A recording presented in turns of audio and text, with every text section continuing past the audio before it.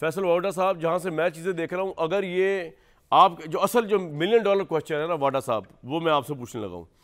यहाँ पे 9 मई का वाक़ हुआ, वाडा साहब को दिखाएँ जी। 9 मई का वाक़ हुआ जिसको अफवाज पाकिस्तान ने कहा कि उनको ज़ख़म लगाए गए राइटली सो मेरे ख्याल से आप भी उससे एग्री करेंगे। और कुछ पागल लोग अगर ना बीच में हों, जिनके दिमाग एक्सट्रीम पे पहुँचे हुए हैं, उनके अलावा सारी एग्री करेंगे पीटीआई वाले भी एग्री करेंगे। बल्कि वो डिसोन कर रहे हैं, वो कह रहे हैं, इतना हिनियस क्राइम तो हम कर ही नहीं सकते। अब किया या नहीं किया, वो तो अदालतें फैसला करेंगी। मदर अब्बास साहब को भी बहुत बहुत वेलकम लेकिन मेरा सर, सबसे, वाडा साहब इम्पोर्टेंट सवाल ये है कि गिवन द सिचुएशन पाकिस्तान में नौ मई को फ़ौज समझतियों को ज़ख्म लगाए गए। शहदा की तजी तजीक की गई।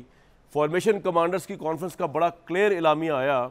जिसमें none less than army chief ने कहा है कि जी मिलिट्री ट्रायल होगा, उन तमाम सिविलियंस का जो मास्टरमाइंड भी है और जो इसके अंदर शामिल भी थे। इसकी मौजूदगी के अंदर सुप्रीम कोर्ट ऑफ़ पाकिस्तान का कंट्रोवर्शियल हो गया आज का बेंच लेकिन कोई बात नहीं, सात रुकनी फिर भी बैठ गए। तीन भी बैठ जाएँगे तो अता बंदयाल साहब अगर चाहेंगे तो इम्प्लीमेंट हो जाएगा।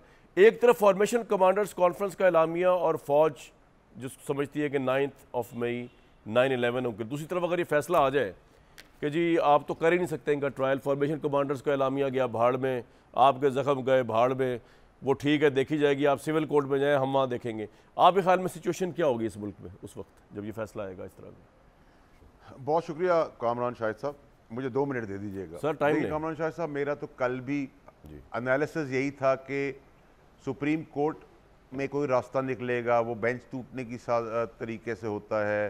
वो मिडिल ग्राउंड की तैयारियत में होता है या किसी भी तरीके होता है, लेकिन ये तसादन नहीं होता नज़र आना चाहिए, ना होना चाहिए, ना होगा। नंबर एक।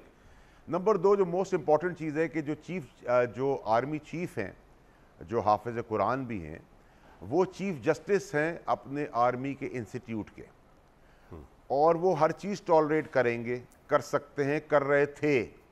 तीन चीज़ों पे वो कॉम्प्रोमाइज़ नहीं करेंगे। पाकिस्तान शहदा और शहदाओं की लाशों की बेहरमती और अपने इदारे के बारे में बुग्स।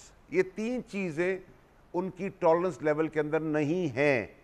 और शहदा की जो शहादतों की बेहरमती और उनकी जो कबर और उनके कफन की जो बेहरमती की है तहरीक इंसाफ ने, और जानवर और इंसान का फ़र्क ख़त्म कर दिया है, इसमें बेहतर ये है कि आर्मी एक्ट या आर्मी अदालतों के तहत जो भी करना है या नहीं करना है, वो उन्हीं पे छोड़ दिया जाए, क्योंकि शहदा के ऊपर कोई कॉम्प्रोमाइज़ होना नहीं है और शहदा के ऊपर वो रोनते चले जाएँगे हर चीज़ जो बीच में आ जाएगी। और उससे बहुत ज़्यादा नुकसान हो जाएगा।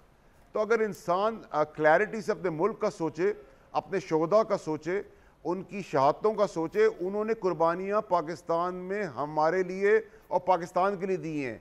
मेरे घर में जो डेथ हुई है, मेरी वालदा की या किसी की, वो अल्लाह ताला की तरफ़ से उनका टाइम पूरा हुआ था। उन्होंने शहादत या जान पाकिस्तान या पाकिस्तान को बचाने के लिए नहीं दी। तो इस पर कोई कॉम्प्रोमाइज़ नहीं है। तो बेहतर रास्ता ये है कि आर्मी एक्ट के तहत या आर्मी कोर्ट्स के तहत होना है, नहीं होना है, ये उनकी फ़ौज की सवाबदीद पर छोड़ दी जाए। नंबर एक। नंबर दो, अगर नहीं छोड़ी गई तो शोदा पे कोई कॉम्प्रोमाइज़ नहीं होना। जो जानवर वाला काम किया गया है, उसकी सज़ा तो होनी है। और इस पर कोई कॉम्प्रोमाइज़ नहीं है। जी। आप लाख कह दें मैंने नहीं कहा। आप लाख उनसे ला ताल्लुकी कर लें लेकिन सजाएँ तो उन लीडरों को मिलनी है और मिलनी पड़ेगी और जो नहीं देगा वो भी मुल्क का खैर खानी गद्दार होगा।